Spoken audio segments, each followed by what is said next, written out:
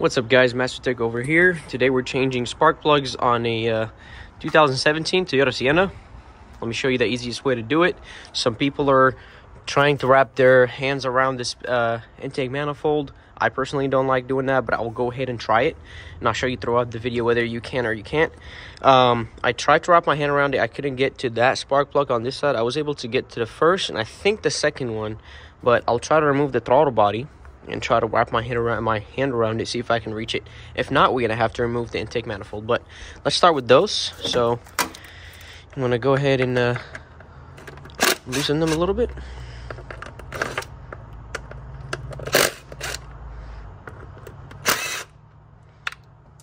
That one fell.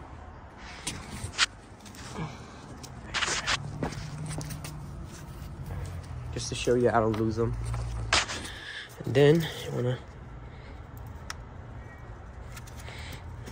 unplug them.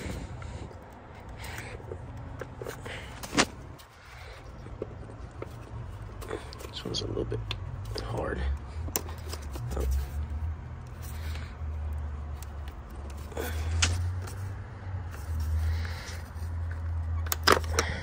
Right there.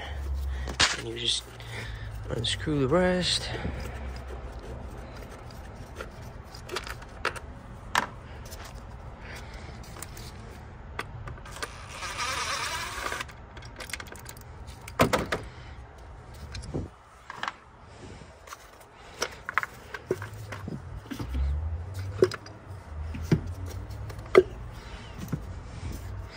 Five eighths. Where is it? Right here. That's our five eighth. Want a long extension like so. You wanna put this thing in here. Yep, right on it. Wanna get your ratchet. That's where the ball is. Tighten all of them.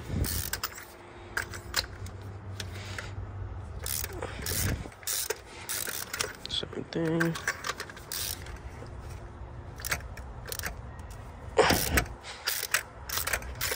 Sees that pretty well. You can remove that. Get to using this. Put it back.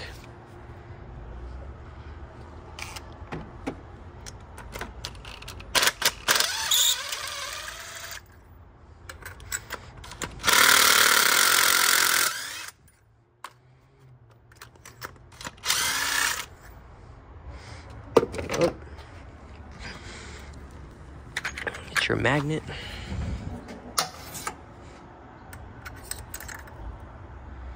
Not too bad. I'm gonna change them anyways. Almost. Oops. I'll get that later.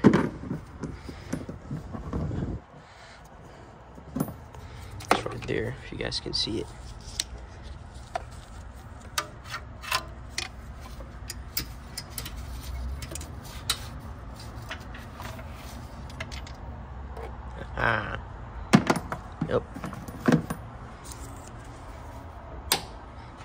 Get your spark plugs, put it back. In. So now you want to get your spark plugs.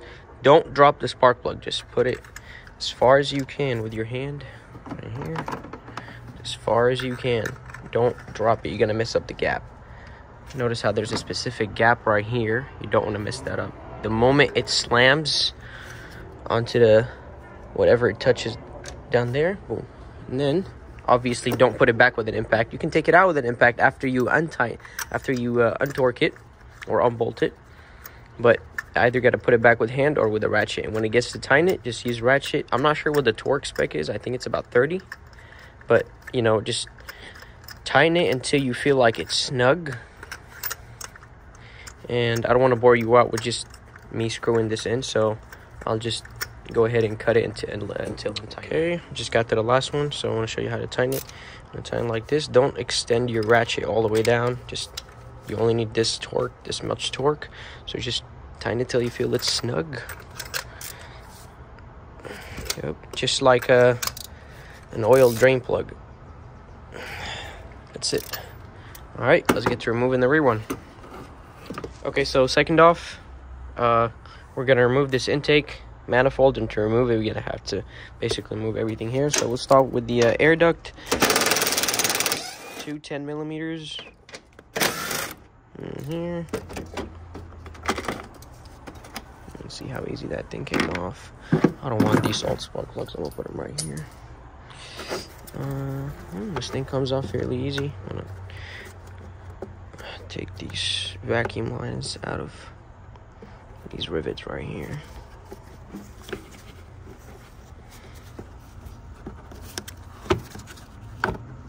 Or just disconnect them straight from here, I guess. And that one is kind of hard to disconnect, so I'm just gonna remove it from here. Right, so I was able to remove it. I would just unclip this with my hand. Um, you don't have to put this back. Just put this to the side.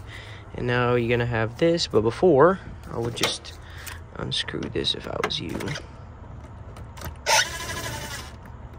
Yep, like so. It's a little bit loose now. Then you wanna, actually, wanna unclip this thing. I'll unclip it with both of my hands, but you get the idea. I Gotta unclip this, this one as well. Um. Yep. Now it's loose. Just unclip this and take this out. Update, I was able to take this out. Just use this to unclip it just push it with the uh, flat, and then let's go. Holding it in place. Just use this type of tool.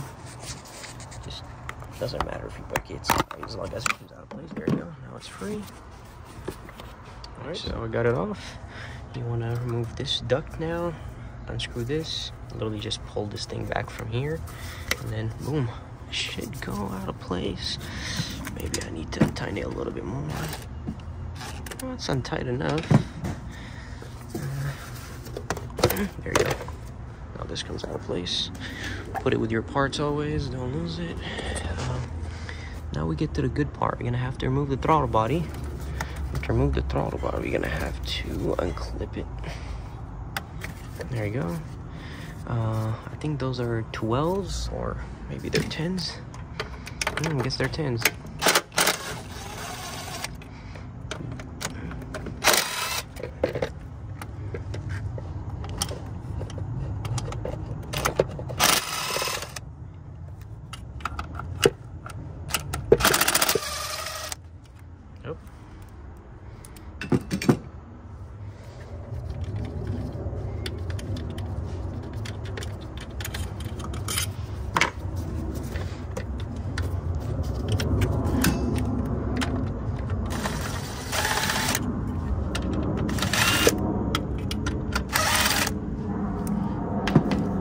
sure they're all on tight.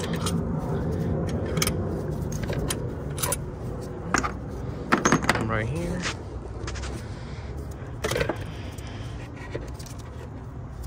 Okay, so this one's this one's loose. Now you wanna move this thing right here. It's held by a 10 millimeter right there.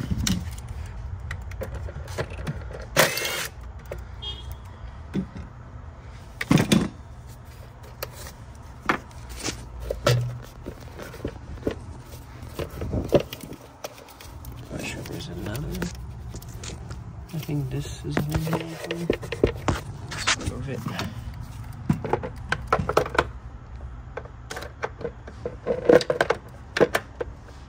Yes, second. I'll be right back. Apologies, guys. That was the wrong one. It's actually this one right here, right there. See if I can get to it with this one. I need both of my hands, so let me get right back to you. Okay, now we're gonna get to uh, removing this one. I'm gonna push this a little bit. I don't know why those always give me a hard time. There you go. Came out. Just push this grommet. Oh, I don't even need to untie it. Alright, now we're gonna remove this 12. 12, 12, 12, 12, 12, 12, 12. Unclip this thing. So don't forget to disconnect your battery. And then not sure if you're gonna need to unclip those, but I'll see if we do we don't. Uh, need to hold this. This is. Yup. Same thing goes to this, but need to unbolt it first. So let me unbolt whatever whatever I told you to unbolt. And All right, so um, I was able to get there. Just literally um, um, remove all these vacuum lines from place. Unplug this as I told you. All these 12s right here. It's actually very simple. These two vacuum lines. The longest one goes to here. Uh, take it off. Um, there's a vacuum line like so right here. Um, just take it off from here right there just put it to the side it bolt it literally clipped to the uh, back of the intake manifold try to unclip it same style as those clips just remove them and uh, literally just put it up and you're gonna notice that it's being held by this 12 right here right there. So literally just remove that and you'll be good to make the whole thing. Okay so we're gonna start um, with the rear spark plugs. Clip right here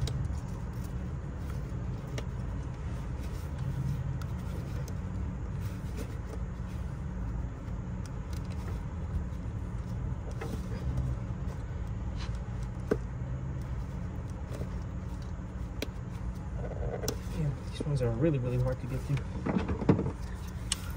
Get a flat head.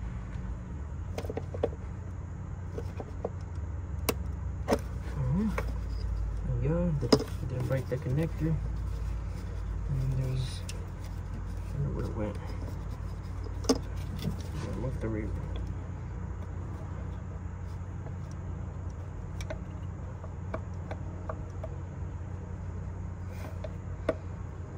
Oh, these ones are hard.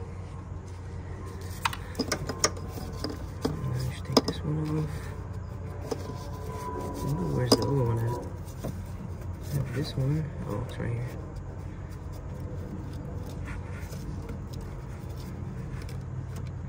Yeah, this is not as simple as you think it is.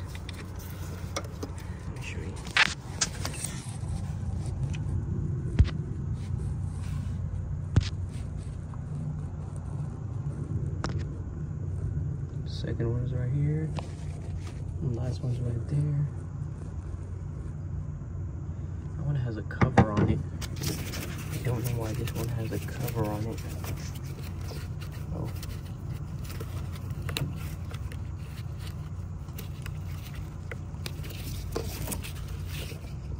Let me take this off real quick. Okay, so I was able to uh, unclip all of them and remove all of them. It's a little hard process, but so what happens is these clips are really hard, so you got to press extremely hard and pull back. You got to use both of your hands.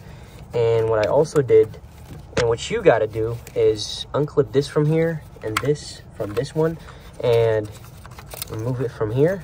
It would be, be a place for it right here, right there.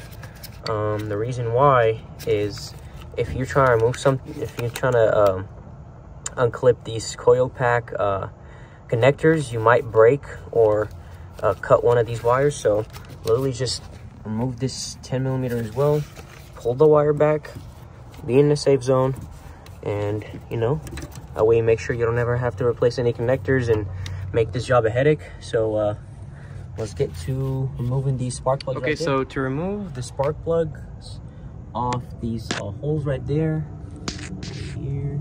Uh it's a little bit tricky but found out that if you use two three inch extensions, it might just work. Let me show you. Come over here.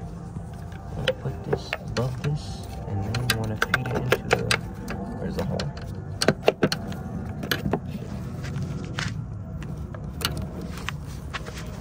So right